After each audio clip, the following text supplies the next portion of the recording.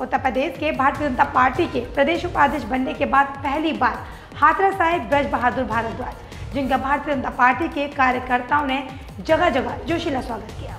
दरअसल आपको बता दें कि हाथरस में उत्तर प्रदेश के भाजपा पार्टी के प्रदेश उपाध्यक्ष बनाए जाने पर पहली बार हाथरस आगमन पर ब्रज बहादुर भारद्वाज का बीजेपी कार्यकर्ताओं ने जगह जगह जोशीला स्वागत किया।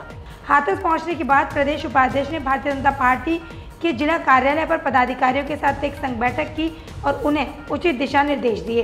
वहीं भारतीय जनता पार्टी की नीतियों से भी लोगों को अवगत कराया।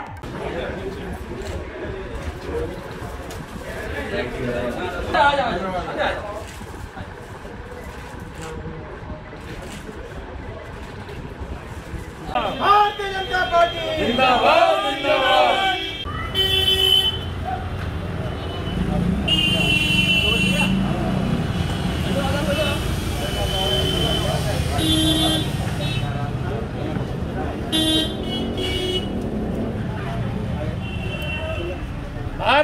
माता की। भारत माता की।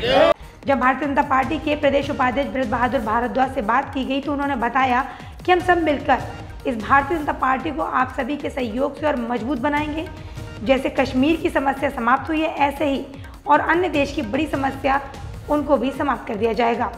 इस भारत को पुनः शक्तिशाली भारत बनाने का प्रयास करेंगे। ग्राम प्रधान के चुनाव में ग्राम प्रधान इतना तो शिक्षित होगा कि आपका लेखा, जोखा एवं विकास कार्यों का पता रख सके। अगर ऐसा होता है तो माननीय मुख्यमंत्री जी का अच्छा कदम होगा। जहाँ दो बच्चों की बात है तो दो बच्चों की ही बात का भी समर्थन करता हूँ, क्योंकि आने वाली पीढ़ी क्या खाएगी, कहाँ रहेगी, आबादी बढ़ती जा रही है, नौकरी नहीं है, जनसंख्या बढ़ रही है। तो अगर शिक्षित और दो बच्चों वाली बात मुख्यमंत्री प्रधानी के चुनावों में कह रहे हैं तो यह माननीय मुख्यमंत्री जी का स्वागत योग्य फैसला है। इस भारतीय जनता पार्टी को आप सब लोगों के सहयोग से और अधिक मज़बूत बनाएँगे और आने वाले समय में जैसे कश्मीर की समस्या समाप्त हुई है और सारी समस्याएँ जो देश की धीरे धीरे समाप्त हो रही हैं, सारी समस्याओं को निर्मूल करके हम सब मिल करके इस भारत को पुनः शक्तिशाली भारत, पुनः विश्व गुरु बनाने की प्रयास करेंगे। और दो बच्चों की बात का भी मैं तो व्यक्तिगत समर्थन करता हूँ, क्योंकि आने वाली पीढ़ी क्या खाएगी, कैसे रहेगी, इतनी बड़ी संख्या में आबादी बढ़ती जा रही है, उसका आप असर देख रहे हैं, हर तरह के क्षेत्र में असर पड़ रहा है उसका।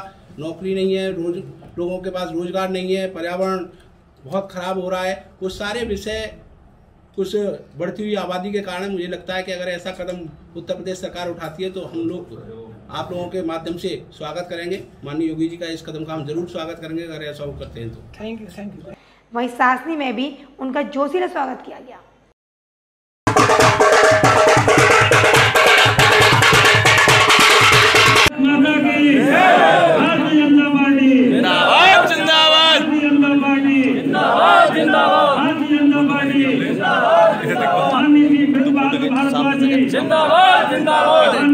भैया। गर्व का और हर्ष का विषय है कि आज हमारे परिवार के हमारे ज़िले के हमारे क्षेत्र के यशस्वी ब्रज बहादुर भारद्वाज जी को भारतीय जनता पार्टी के शीर्ष नेतृत्व ने बहुत बड़ी ज़िम्मेदारी सौंपी है